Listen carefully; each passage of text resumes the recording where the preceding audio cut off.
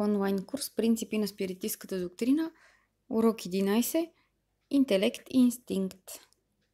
Стигнахме до въпрос 71. Интелектът е един атрибут на жизнения принцип ли е? Не, защото растенията живеят, но не мислят. Те имат само органичен живот. Интелекта и материята са независими един от друг, тъй като едно тяло може да живее без интелект, но интелекта може да се проявява само чрез материални органи – Необходимо е духът да се обедини с анимираната материя, за да я направи интелигентна.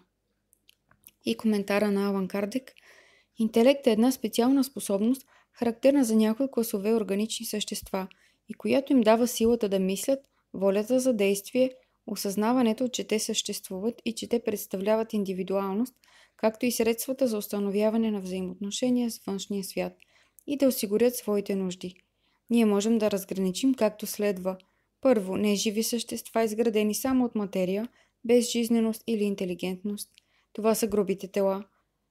Второ, анимирани живи същества, които не мислят, формирани от материя и надарени с жизненост, обаче лишени от интелект. И трето, анимирани и мислещи същества, формирани от материя, надарени с жизненост и притежатели също на един интелигентен принцип, който им дава способността за мислене. Въпрос 72. Какъв е източника на интелект? Вече го казахме. Вселенския интелект. 72а. Може ли да се каже, че всяко същество взема една част от интелекта на универсалния източник и го освоява, тъй както извлича и освоява принципа на материалния живот? Това не е нищо повече от обикновено сравнение, макар и да е неточно, защото интелектът е способност – подобаваща на всяко същество и представлява неговата морална индивидуалност. Освен това, както знаете, има неща, в които човекът не може да проникне и това за сега е едно от тях. Ние сме интелигентни, още от времето ни като интелигентни принципи, въпреки че те нямат съзнание и начин да го използват. Интелекта вече е част от тях, като едни семена, които чакат правилния момент да пораснат или като едно устройство, свързано с компютър, което се изключва от мощност, очаквайки да бъде използвано. Въпрос 73. Инстинктът зависи ли от интелекта?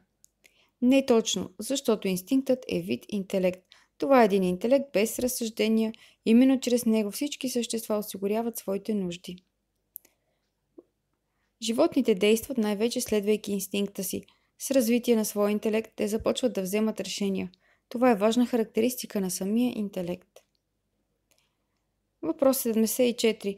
Може ли да се установи линия на разделение между инстинкт и интелект, т.е. да се уточни къде свършва едното и къде започва другото? Не, защото те често се смесват едно с друго, но много добре може да се разграничат действията, проистичащи от инстинкта, от тези, които принадлежат на интелекта. Въпрос 75. Правилно ли е да се каже, че инстинктивните способности намаляват, докато интелектуалните растат? Не, Инстинктът винаги е там, но човек го пренебрегва. Инстинктът също може да доведе до добро. Той почти винаги ни води и понякога дори по-безопасно от разума. Той никога не се заблуждава. Въпрос 75а. Защо разумът не винаги е безпогрешен водач?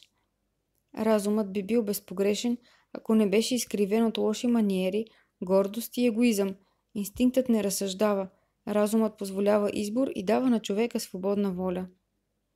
И коментар на Кардек. Инстинктът е една рудиментарна интелигентност, която се различава от самия интелект в това, че неговите прояви почти винаги са спонтанни, докато тези на интелекта са резултат от съчетание и преднамерен акт. Инстинктът варира в проявите си според видовете и техните нужди. При съществата, които имат съвест и възприемане на външни неща, той се съюзява с интелекта, т.е. с волята и свободата. И в описанието към това видео и в статията на нашия вебсайт ще видите линкове за различни видеоклипчета. В тях може да видите разлика между инстинкт и интелект и ще бъде интересно изследване сами да си прецените кое се проявява къде.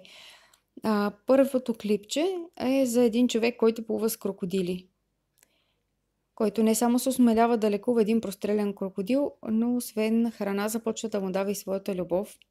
След това второто клипче е един експеримент за причинно разбиране на водоизместването при враните.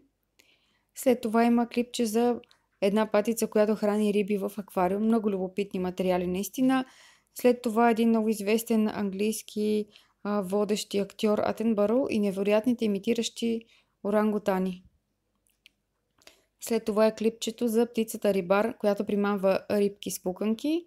След това може да видите маймуна чупи орехи и как се учи от грешката си. След това, за любителите на птиците, Чапла лови риба с хляб. И още едно клипче Пеперуда срещу паяк. Контакта с хората помага на животните да се развиват интелектуално. Нашата мисия към животните е да им помагаме по този начин. Животните отговарят на обичата, която им даваме. Много животни стават и по-кротки при контакта с хората.